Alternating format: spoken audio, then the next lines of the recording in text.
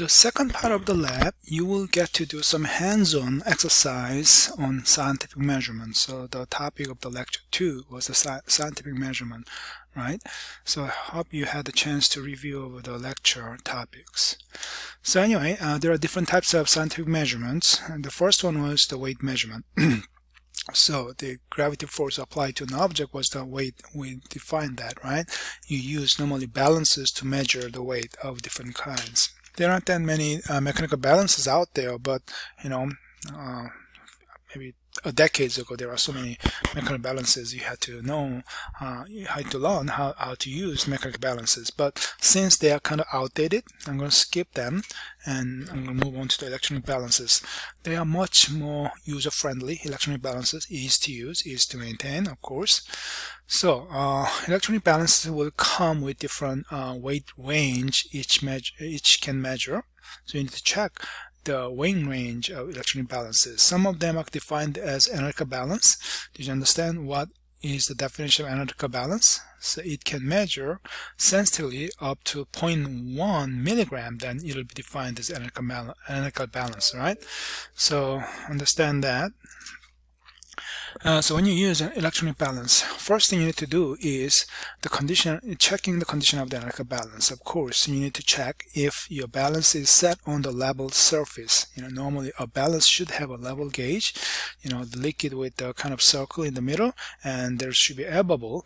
If it's on the level surface, that air bubble should be kept inside of the uh, circle you know if it is not on the level surface then maybe air bubble should be it will be outside of the circle or it may be touching it.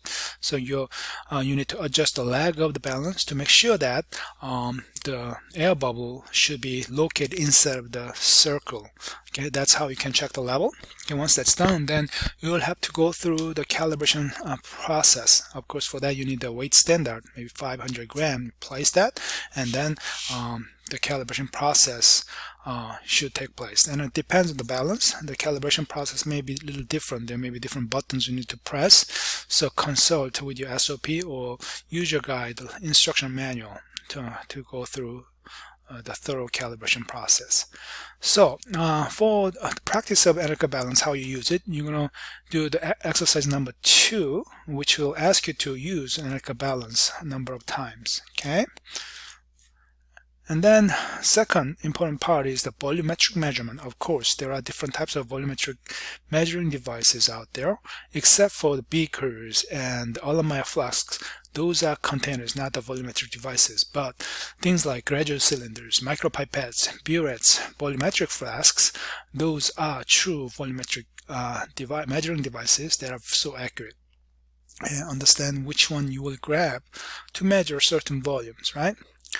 So take a look at different types of volumetric devices we have in the lab and make sure that you know how to use those, especially when you measure the volume understanding how you deal with the meniscus, right? Because liquid has certain cohesion or adhesion. So the surface level may not be flat. You may have, you know, indentation in the middle of the liquid surface. You always read from the bottom level of the liquid surface, right? And the micropipetters are one of the volumetric devices you'll be using a lot throughout the semester. So I want you to practice how you use a micropipetter. We talked about that in the lecture. So you'll get to use that in the lab for the first lab. Okay we have different uh, size micropipetters. P1000 that can measure up to 1000 microliter. P200 that can measure up to 200 microliter. P20 that can measure up to uh, 20 microliter. And there is P2 that can measure up to 2 microliter. So understand the unique range of each micropipetter. So you, you can determine which micropipetter you will be using for your measurement right? And then uh, I'm going to give you a handout uh, which is a copy of your textbook, uh, pages 361 and 364. It is posted in your course shell, uh, so you can take a look at those pages if you don't have your textbook. Anyway, by following the instruction written on those pages, you can validate your micropipetter, okay, by setting up your mic micropipetter at a certain volume. If it's a 500 microliter, that's fine. For P1000, set it up and then you will uh, make a measurement with the pure water in, in, our lab it's nano pure water that's pure so grab a bottle of nano pure water and then you pipette the same volume 500 microliter about 10 times or 6 times in a container. The container could, could be a weighing dish or it could be a micro centrifuge tube, whichever you, you like to use, that's fine. You just make sure that you do the calculation so you're going to exclude the weight of the weighing dish or weight of the you know micro centrifuge tube to, to uh, calculate uh, the weight of the water. Okay, once that's done, you, you get the average um, weight of the water you measured and then you consider the density of your water at that particular temperature and then convert that weight back to the volume. And then once you do that you can calculate out the percent accuracy. Okay? Uh, so they will tell you how accurate your pipette measurement is was and then standard deviation of your maybe 10 measurements. Okay? How close they were.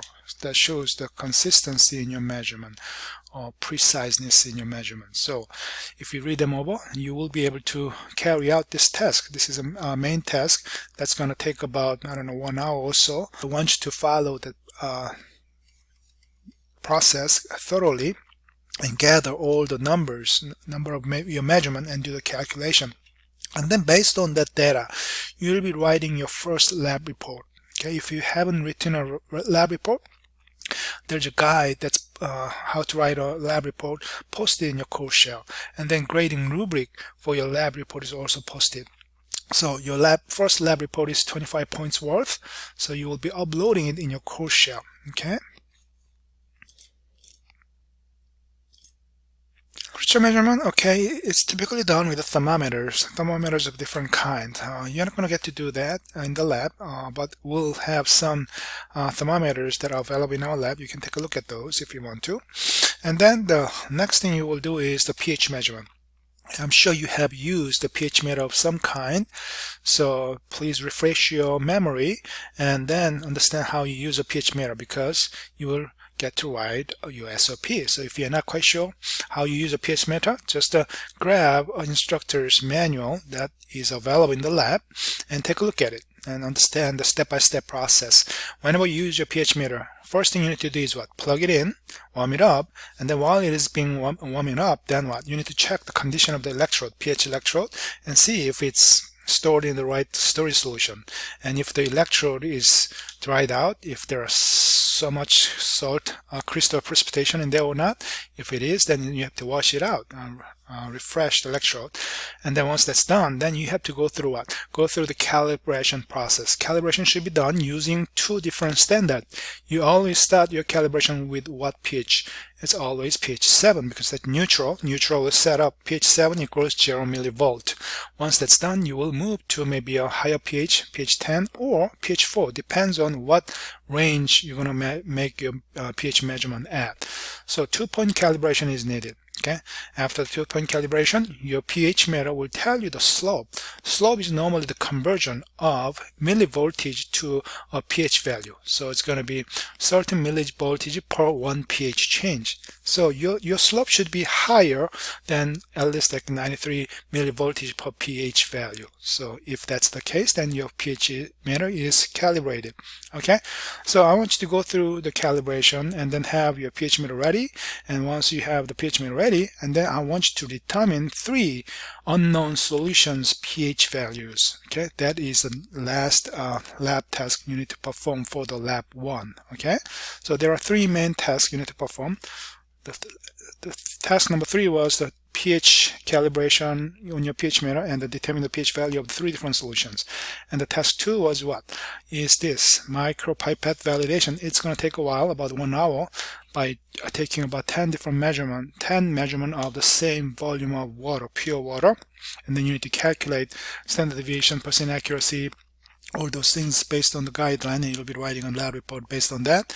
And the first task was um, writing an SOP, but that's a homework, homework assignment, so you don't have to write during the lab. Just gather the material you need to complete the task. So that will be your lab number one.